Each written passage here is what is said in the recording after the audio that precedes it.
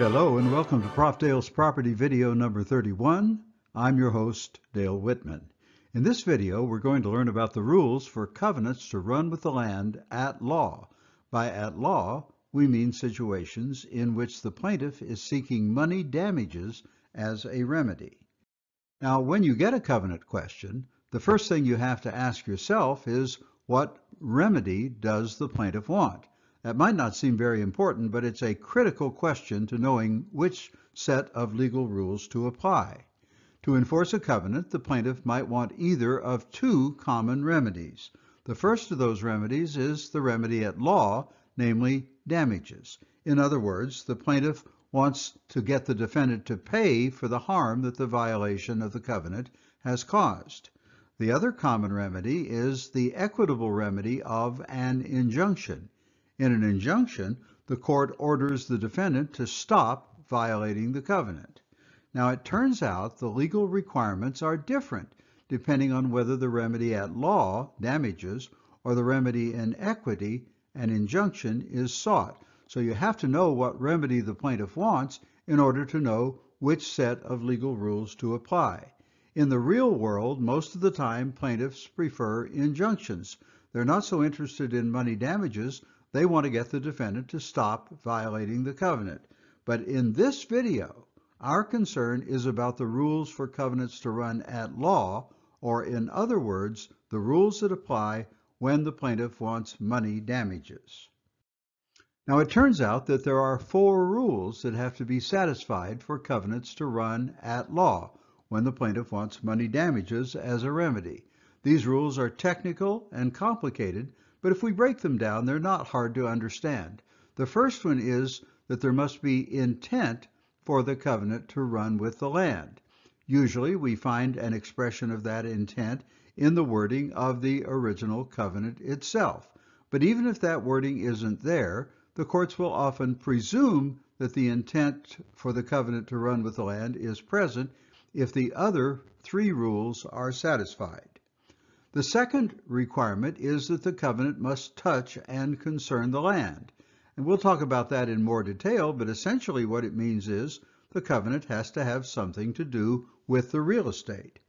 The third requirement is horizontal and vertical privity of estate. Now this is purely a technical requirement.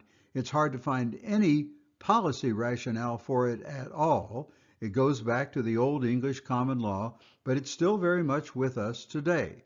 So we've got to find both horizontal and vertical privity of estate. We'll talk in a minute in the next uh, part of this video about what we mean by those terms. One note we might put in here is that horizontal privity isn't required in order to make the benefit run with the benefited land, but both horizontal and vertical privity are required to make the burden run with the burdened land. The final requirement is not really part of covenant law at all. It's part of the Recording Act, which every jurisdiction in America has. And nearly all of those jurisdictions say that notice of the covenant to the burdened party at the time he or she acquires the land is essential to making the burden run to the burdened party and actually burden them and require them to comply with the covenant. Now, if you think about that, you might say, well, that's a pretty reasonable requirement. After all, it would be a dirty trick to impose a covenant on somebody that didn't know about the covenant at the time they acquired their interest in the land. That rule, as I said, is a consequence of the Recording Acts, which very much definitely do apply to covenants running with the land. So what we're saying then is that a BFP, a bona fide purchaser of the burdened land, will usually take it free of the burden of the covenant. If you don't know about it, you don't have to comply with it. Now we're going to take each of those four rules and break it down and talk about it in detail. And the first of the rules, as we mentioned, is there must be intent for the benefits and the burdens of the covenant to run with the land. What do we mean by that intent? So how do we show the intent for the benefit and the burden of the covenant to run with the land? Well, the most common way is simply to look at the language of the original covenant. And particularly if it was drafted by a lawyer, it will usually have language in it that looks something like this. This covenant shall bind and benefit the heirs, successors, and assigns of the original parties hereto. Now don't be put off by that somewhat archaic language about heirs, successors, and assigns. That's just a fancy way of saying the future owners of the parcels of land affected, the people who take their land from the original parties to the covenant. You'll notice that this boilerplate language refers to both the burdens and the benefits of the covenant because it says the covenant shall bind and benefit. So both the burdens and the benefits are intended, according to this language, to run to the future owners of the respective burdened and benefited parcels of land. Now that language makes it absolutely clear that the intent is present. However, even if that language isn't in the covenant, the courts are usually willing to presume that the intent is satisfied if the next test, the one we're about to talk about, the touch and concern requirement, is satisfied. So even without the boilerplate language, the court may very well find the intent that we need. Let's pin down the intent requirement with a little greater precision. Drafters of covenants nearly always identify the burdened land. They say, the following described land shall be restricted by this covenant in the following way but often they forget to identify the benefited land. They sort of leave that for us to guess about. So the question arises, does the covenant have to express specifically the identified benefited land, or is it okay to just have a general expression of intent for the benefit to run? Well, it turns out that the courts will usually try to figure out what land was benefited, even if it's not specifically identified. So specifically identifying the benefited land sometimes isn't strictly necessary. Usually, if the courts do that, they'll look at the land the benefited party still owns that's near to the burdened land, and they'll say, well, that must be the land that was intended to be benefited. But relying upon the courts to do that is kind of a sloppy practice. The best drafting practice is always to identify the benefited land as well as the burdened land. So please Keep that in mind when you're drafting a covenant in the real world. Identify both the benefited and the burdened land. The burdened land is easy, the benefited land is easy to forget. Why is it so helpful to identify the benefited land?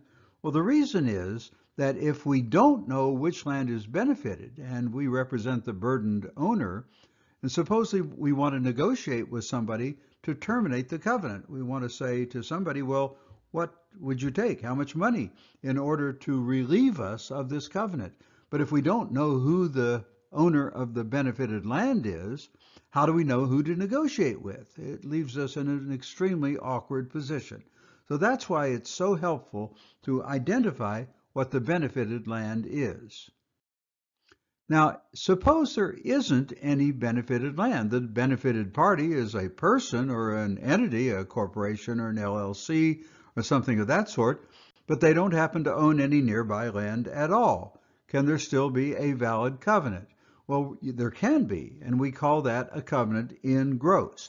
The term in gross simply means we have a covenant that doesn't have any specific benefited land. Will the burden still run with the burdened land even if there's no benefited land? Well, that's an interesting question and one on which the courts have split. In England, the answer is no. If you don't have benefited land for the benefit to run with, then the burden won't run with the burdened land either. The American courts are about equally divided on that question. If we read the servitude's restatement, it says that the running of the burden of covenants, even though the covenant is in gross and doesn't have any benefited land, is perfectly fine. It's okay. So according to the restatement, this is not an issue that we really have to worry about. If we want to diagram the covenant in gross situation, it would look something like this. A normal, appurtenant covenant, that is one that has benefited land, involves a covenant from the owner of the burdened land to the owner of the benefited land. No surprise there. On the other hand, a covenant in gross looks more like this. There's an owner of the burdened land who makes a covenant that affects certain benefited persons. It gives them a promise that they like and appreciate and want to receive but they don't have any particular benefited land. They don't have any land near the covenant. Let's think about some examples of covenants in gross. Covenants in gross, those that are only involving burdened land and have no benefited land, can still be extremely useful. For example, think about a historic preservation covenant. Let's suppose that we have a city or a town that has some beautiful old historic buildings in it. And there's a citizens group that's interested in preserving the history of the town. So they go to the owner of one of these historic buildings and they say, would you give us a covenant that you'll maintain the appearance, the facade, the uh, attributes of this building so that its historic nature will always be obvious. Now we, the group that's asking you to do this, don't happen to own any real estate. So we have here a covenant with burdened land, the historic building, but no particular benefited land.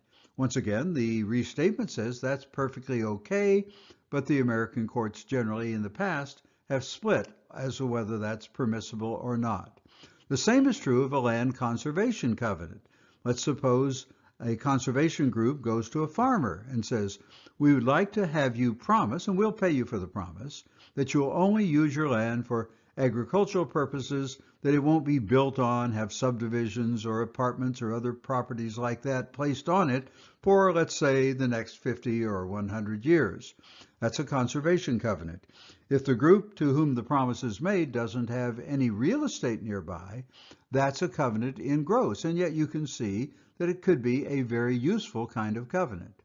A third example is an environmental cleanup covenant with a government agency the agency comes to a landowner whose land is contaminated with uh, hazardous materials. And they say, will you enter into a covenant with us to clean up that land? And naturally, we would like to have the burden of that covenant run with the land. So if you sell or give the land to somebody else, they're still going to be bound by the covenant. Now we, as the government, don't happen to own any nearby benefited land, but nevertheless, we think the burden ought to run with the burden land. Again, the restatement would say that's perfectly okay. There's nothing wrong with that. In the past, the American courts have had a hard time and have come out on both sides of that issue as to whether the burden will run if there's no benefited land for the benefit to run with. Now, the second requirement for a covenant to run with the land is that it has to touch and concern the land. Touch and concern means the covenant's got to have something to do with the real estate. Obviously, a parcel of real estate can't make a covenant. Covenants are made by human beings. But the covenant must bind and benefit the parties in their capacity as landowners and not merely in their capacity as individuals. In other words, they wouldn't be making this covenant if they didn't own the land in question, and the covenant has something to do with the land. Many of the courts say that the covenant has to touch and concern both the benefited land and the burdened land, since there are always at least two parcels involved in a covenant. Obviously, if we have a covenant in gross, it doesn't touch and concern the benefited land because there isn't any benefited land. So for that reason, as we mentioned a little earlier, the American courts have divided as to whether the burden will run with the burdened land if there is no benefited land. Now here are a couple of questions about touching and concerning the land. The first one is, could a covenant touch and concern the land even though it doesn't restrict the use of the land? In other words, do covenants have to be restrictive covenants in order to touch and concern the land? And the answer is no, they don't. One of the most common examples is a covenant by individual lot or homeowners to pay dues to an owners association. The dues are normally used to maintain the common areas of the association, and the courts in America have universally held that a covenant to pay dues for that purpose does touch and concern the land, even though it obviously isn't a use covenant, it's a covenant to pay money. An alternative question is, could a covenant restrict the use of the land and still not touch and concern the land? Well, the answer is that that's entirely possible, and one way it can happen is represented by the Stegall case decided by the North Carolina Supreme Court in 1971. The benefited land in that case, the court said, was several miles away from the burdened land. It was too far away to receive any practical benefit from the covenant. So the court held that the benefited land, uh, the covenant did not touch and concern it because it was so far away, and therefore, since the covenant didn't touch and concern both benefited and burdened land, the covenant wouldn't run with the burdened land either. So we've got to show, in order to have touch and concern, that the parcels that are benefited and burdened are reasonably close to one another so that restricting or affecting the burdened parcel will have some benefit to the benefited parcel. Now here are some questions that are sort of classic issues about whether a covenant touches and concerns the land. The first one is the old English case of Keppel versus Bailey. In that case, the covenant said that a, an owner of an ironworks, an iron factory, which needed lime to operate, would only buy lime from a particular nearby lime pit to make the iron on the burdened land. So the question was if a new owner bought the ironworks, would they also have to buy lime from that same lime pit? Would they be bound by that covenant? The court held that they would not. They said that a covenant to buy lime from a particular lime pit doesn't touch and concern the land. Obviously, a covenant to use lime or to run the ironworks in a particular way would touch and concern the land, but the burdened land really wasn't affected in the slightest by where the lime came from. So whether the lime was bought from this lime pit or some other really wouldn't make any difference in terms of what happened on the burdened land, and therefore the covenant did not touch and concern the land. A little more modern example of that is the Bremmeyer case. That's a Washington state case where an owner of land was expecting to grade it in the future and entered into a covenant with a contractor that the landowner would use that specific contractor for grading the land when it was time to do the grading. Later on, the land was, before it was graded, sold to a different owner, and the different owner didn't want to go to the same grading contractor, the question was whether they had a legal obligation to do so. And the answer is much like Keppel versus Bailey. The court said, yes, a covenant to grade the land would touch and concern the land, but a covenant to use a particular contractor for grading it really would have no bearing on what happened on the land itself and therefore did not touch and concern the land. So the new landowner didn't have to go back to that same contractor to get the grading work done. There have been quite a lot of cases in America over the last hundred years or so about covenants not to use property for certain specific businesses. For example, a covenant not to use land for a discount store, not to use it for a livery stable, um, an abattoir, any kind of undesirable use that you might want to imagine. Does that sort of covenant touch and concern the land?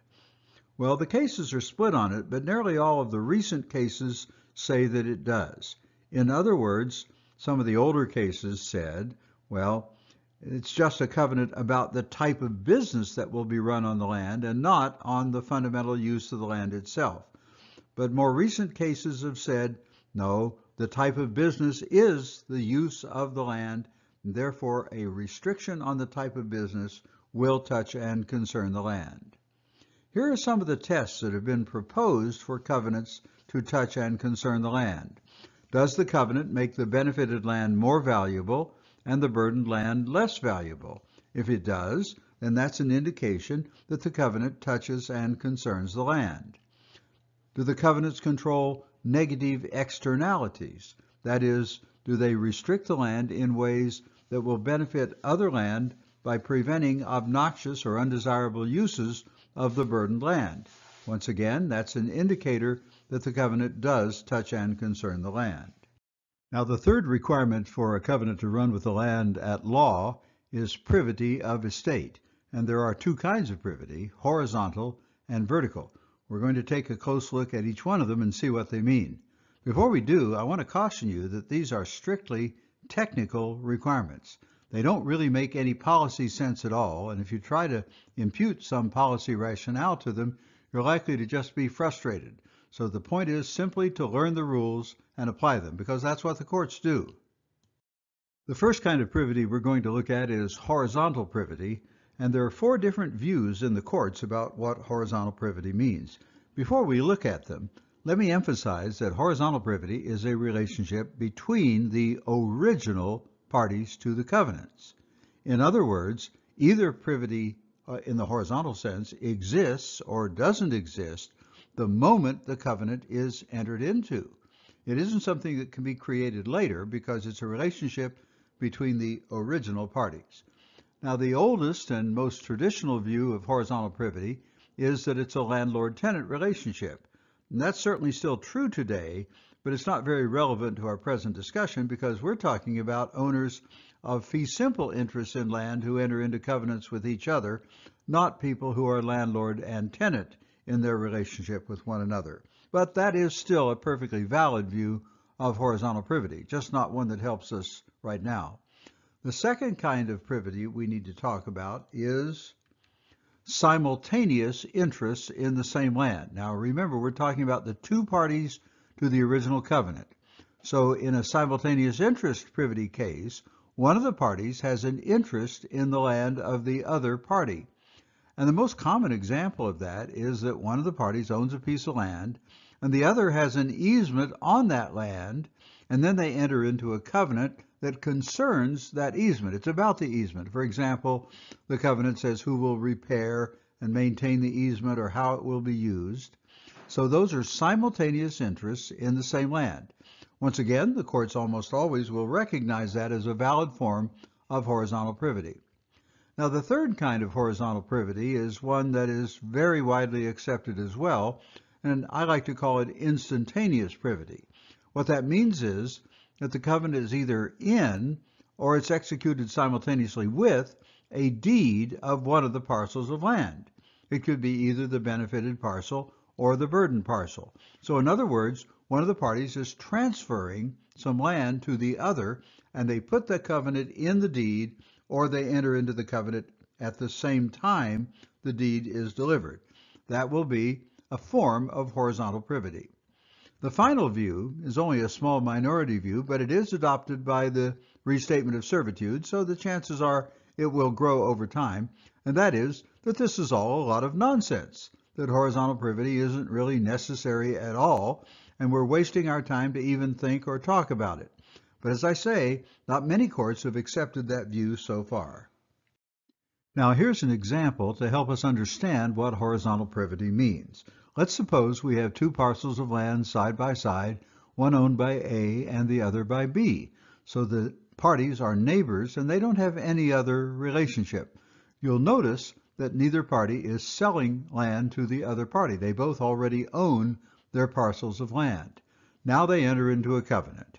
B promises A that B won't keep any pigs on B's lot. So we'd say that B has the burdened land and A has the benefited land.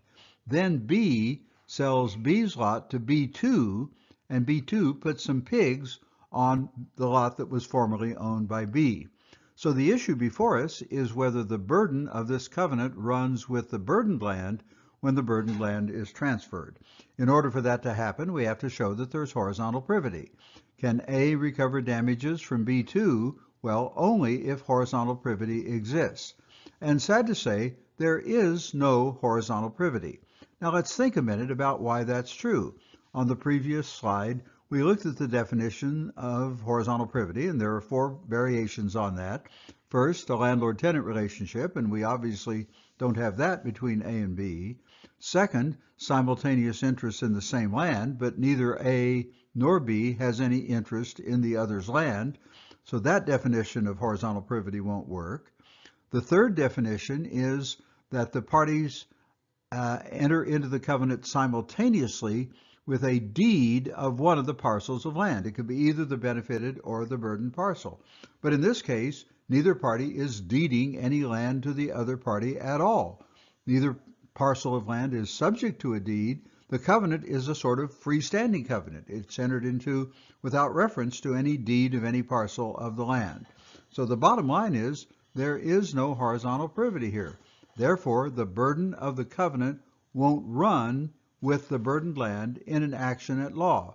So if B put, B2 puts pigs on the property and A sues B2, A's suit for damages will fail because of the lack of horizontal privity.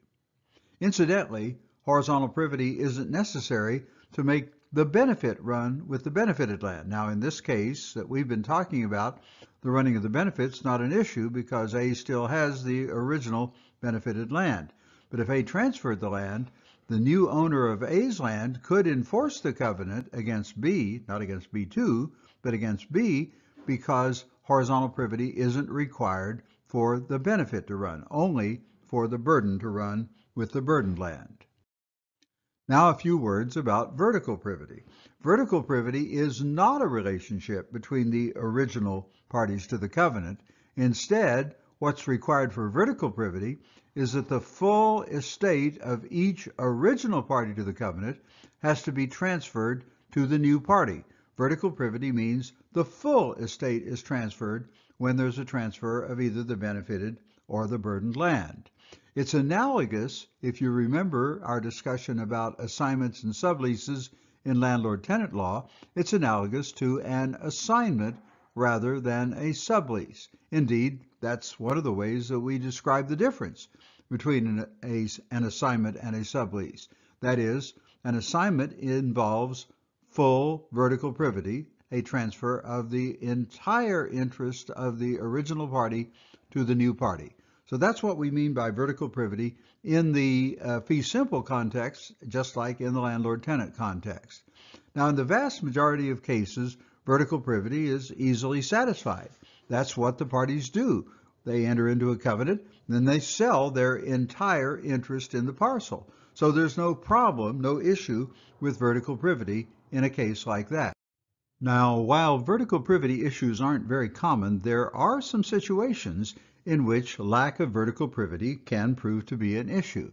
The first of those is where one of the parties to the covenant, after entering into the covenant, transfers less than a full fee simple interest in their land. It isn't very common, but it is possible.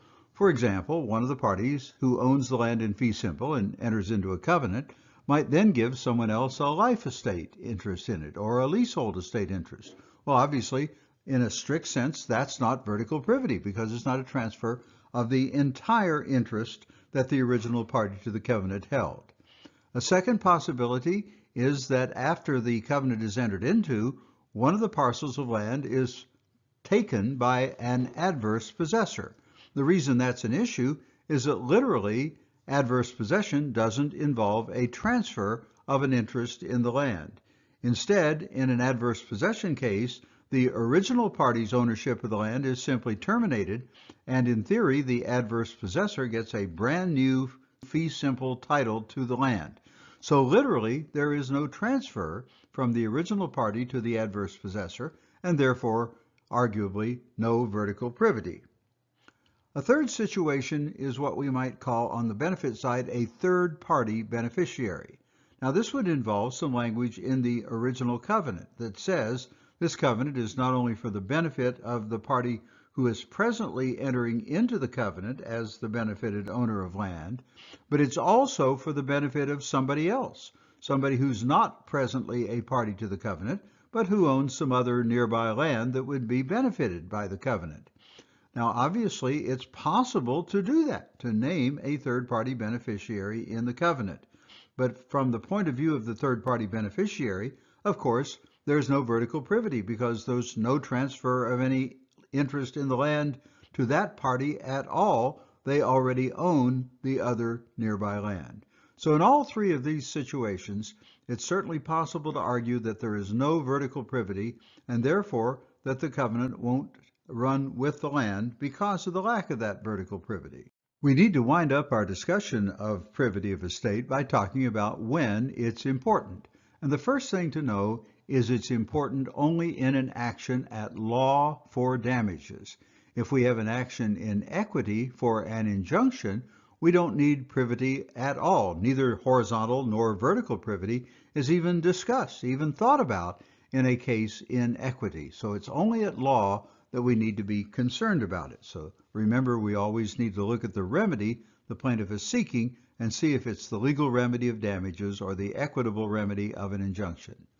The second thing we need to say, and this is just a little reminder, horizontal privity is required only if we need to make the burden run with the burdened land. Horizontal privity isn't necessary to make the benefit run with the benefited land. So as we talked about in the previous slideshow, in every covenant case, we need to analyze the facts and see if we need to make the benefit run or the burden run or both.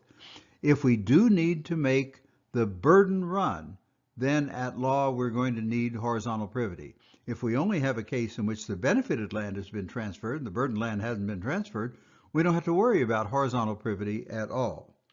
The third point to make is that vertical privity is required to make both the benefit and the burden run.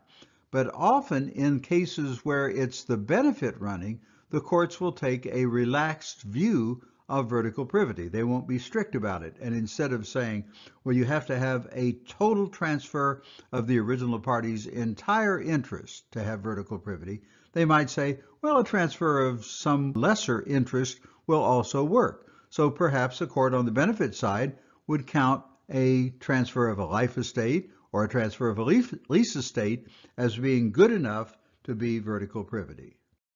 Now the fourth and final requirement for a covenant to run with the land at law is notice to the burdened party. And this is a requirement that doesn't literally come from covenant law, it comes from the Recording Act, and every state in America has a Recording Act. Now we haven't studied Recording Acts yet in this series of videos, but here's a little preview of the way it would work. First of all, we have to recognize that it would be a terribly unfair thing to do, a sort of dirty trick, if we were to impose a burden of a covenant on somebody when they bought the land without any way of knowing about the covenant at the time they purchased it. So the point is, we're looking for notice to them at the time they buy the land. Notice that there is a covenant that restricts it. Remember, we're only talking about the burden party because it's the burden party who would be disadvantaged if they bought the land without knowing about the covenant. Now, under the Recording Acts in most of the U.S. states, the rules are like this. A buyer will take free of the burden of a prior covenant if, first of all, the covenant itself wasn't recorded in the public records. If the covenant is recorded in the public records, then anybody who buys the land later will be deemed to have done a title search and thereby will be deemed to have notice of the covenant. So the first element in this little scenario is that the covenant itself wasn't immediately recorded in the public records when it was entered into. Second, the Recording Acts say that for a buyer to take free of the covenant, the later buyer must pay value for the land. They have to give something of value for it. Third, they must not have, as we said, have had any notice of the covenant at the time they purchased it. And in half the states, the recording acts all say that, also say that the buyer has to immediately record his or her own deed to the land. Well, if all those elements are met, we call the person who is buying the land subject to the covenant, the burdened land, we call them a BFP, a bona fide purchaser. And such a person will take free of the covenant. They can disregard it. They can act as if it's not there. They can't be sued for violating it. They are basically cleansing their title of the covenant that was originally placed on the land. So to be a bona fide purchaser, a party who buys some burdened land mustn't have any notice of the covenant. So how could a person get notice that there's a covenant on the land that they're buying? Well, there are basically three ways that that could happen. The first way is simply that they have actual knowledge of the covenant because somebody tells about them about it, or they read about it in the newspaper, or there's a sign on the property that says this is land is restricted by the following covenant, something that they actually see or read or hear that tells them about the covenant. That's pretty obvious. The second way that a person can find out about a covenant is if the covenant is recorded in the public records. So as we said on the previous slide, a person can become a bona fide purchaser of the land only if the covenant was not recorded immediately in the public records when it was entered into. Now the third way that a person might learn about a covenant on land that they're buying is that it's apparent from looking at the land, from the visual appearance of the land. Now, frankly, this theory is controversial. How could you learn about a covenant just by looking at the land that is burdened by it? Well, here's an example. Let's suppose that we have a subdivision of lots, and all of the lots in the subdivision are built with single-family detached houses. Some courts have been willing to say, if that's the case, then anybody who buys the land and sees the existing single-family houses ought to reason, ought to infer that those lots are all restricted by a covenant limiting the property to single-family detached houses. Now, obviously, if you believe that, you mustn't stretch it very far because you can easily think of situations where you could see something and yet it doesn't indicate the presence of a covenant at all. Suppose, for example, that we have a subdivision in which all of the houses have uh, no satellite dishes or TV antennas on them. Would we be able to infer from that that there's a covenant prohibiting satellite dishes or TV antennas? Or suppose we look around the subdivision and we don't see any recreational vehicles in the driveways or the garages. Would that indicate to us that there's a covenant restricting the use of or storage of recreational vehicles uh, in people's garages or driveways? Well, if you think about those propositions, you'll realize they're absurd. You can't infer that simply from the absence of something in the subdivision. Well, the courts have been willing to go this far to say that if it's built with single-family houses, you can infer there's a covenant that tells you you can't put anything other than a single-family house on uh, on a lot in the subdivision. I think even that is stretching it, but the courts have gone that far. Beyond that, the courts simply generally will not go. So looking at the land and detecting that there's a covenant on it can be a very iffy and perilous business. Well, we finished our discussion of the rules for running covenants at law. Here's a little summary to remind you of what all, the, all four of the rules are. The first one is there must be intent for the covenant to run something that we normally find by reading the covenant itself, but even if it doesn't mention any such intent, the courts will often infer that intent if the other requirements are met. The second requirement is that the covenant's got to touch and concern the land. That is, it must have something to do with the real estate itself. The third requirement is horizontal and vertical privity of estate. As we've indicated, horizontal privity isn't required in order for the benefit to run. In theory, both horizontal and vertical privity are required for the burden to run. And finally, we've got to have notice of the covenant to the burden party. That requirement arises by virtue of the recording acts. So if the covenant is unrecorded and a person who buys the burdened land is a bona fide purchaser, a BFP, and in half the states they record their own deed, they will take free of the covenant. Well, that completes Prof. Dale's property video number 31 about the rules for covenants to run with the land at law. In our next video, we're going to cover running with the land in equity where the plaintiff wants an injunction rather than money damages as a remedy. If you have questions or comments, email profdale01 at gmail.com. Thanks for watching.